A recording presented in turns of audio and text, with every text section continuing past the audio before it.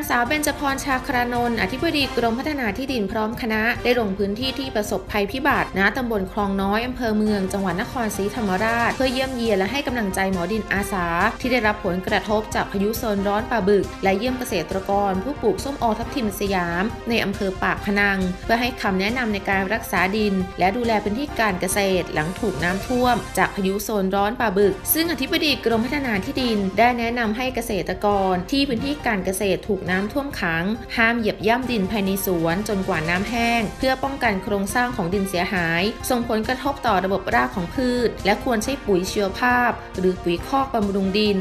ร้อมระบุ เตรียมจัดส่งเจ้าหน้าที่พัฒนาที่ดิน และหมอดินอาสา ลงพื้นที่ให้คำแนะนำและช่วยเหลือเกษตรกรผู้ประสบภัยต่อไป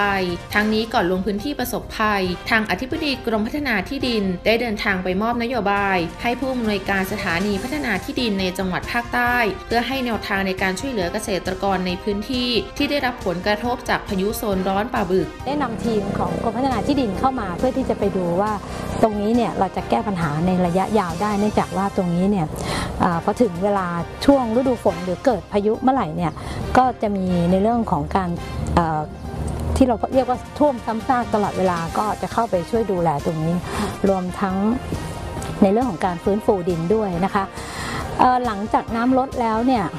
ทางกรมพัฒนาที่ดินก็ได้มอบหมายให้ทางเจ้าหน้าที่ของสถานีพัฒนาที่ดิน จังหวัดนครศรีธรรมราชรวมทั้งสำนักงานพัฒนาที่ดินเขต 11 นะคะ ได้ส่งเจ้าหน้าที่โดยเฉพาะหน่วยที่เราเรียกว่าหน่วยแนะนำการจัดการดินเคลื่อนที่นะคะ ก็เข้าไปเยี่ยมเยี่ยมเยี่ยมเย็นพื้นที่ของเกษตรกรเพื่อที่จะไปให้คำแนะนำในเรื่องการจัดการดิน เนื่องจากว่า หลังจากพื้นที่ตรงนี้เนี่ยผ่านน้ำท่วมมาเนี่ยดินได้รับผลกระทบนะคะ โครงสร้างต่างๆก็เเสียหายนะคะ บางแห่งก็เกิดเรื่องของการพัดเราก็จะเข้าไปดูแลว่าเกษตรกรเนี่ยหลังจากน้ำลดแล้วเนี่ยถ้า